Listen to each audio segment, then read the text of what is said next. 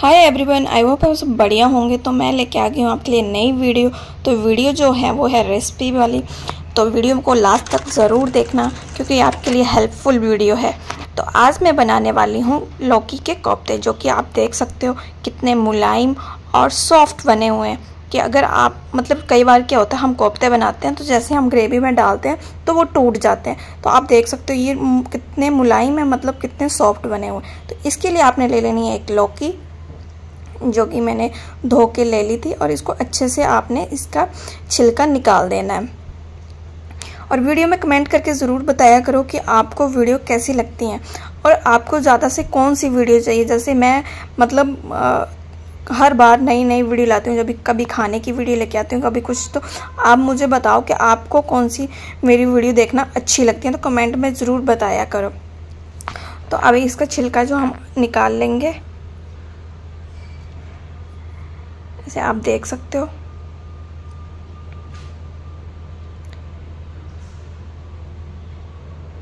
कई बार क्या होता है ना, अंदर से पकी हुई भी होती है तो वो नहीं लेनी आपने।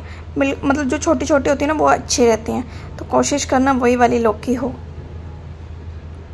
तो ये अच्छे से मैंने छील लिए और इसमें भी आपने ध्यान रखना कि थोड़े से अंदर जो बीज होते हैं, वो निकाल देने आपने।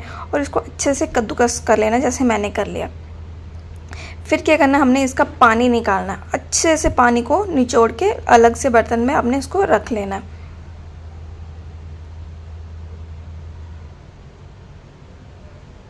पैन मतलब पानी पूरा निकाल देना कि रहे ना।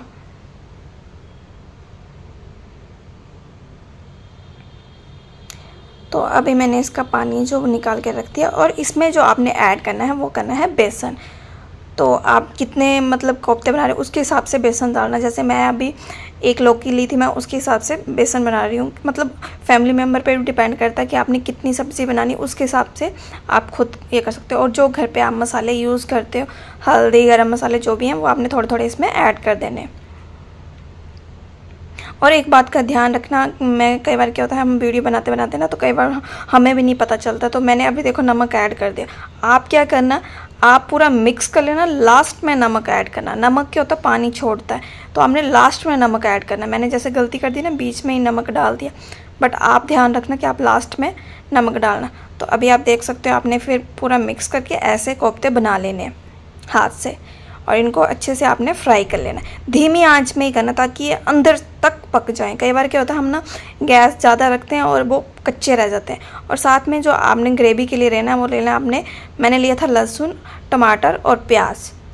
और एक साइड मैंने कढ़ाई रखती थी जिसमें तेल मेरा गर्म हो गया था, उसमें मैंने हल्की सी मिर्च डाली थी, तेज़ पत्ता डाला था और धनिया डाला था। ये देख सकते हो फ्राई करके कैसे लग रहे हैं। और मेरी ग्रेवी भी साथ साथ में तैयार हो रही थी, जैसे आप देख सकते हो तैयार हो गई है। और फिर जो मेरे कोफ्ते बन के हो गए थे, तैयार मतलब ग्रेवी हो गई थी, तैयार, और मैंने कोफ्तों को डाल, अभी आप देख सकते हो कितने मतलब मैं अभी आपको ना स्पून से करके दिखाती हूँ, कितने सॉफ्ट और अंदर तक पक गए हैं मतलब। अभी आप देख सकते ये देखो। अंदर मतलब कई बार क्या होता है, हमारी ना ग्रेवी अच्छी बनी और कोफ्ते तो कोफ्ते अंदर से कच्चे हों तो खाने में टेस्ट नहीं आता।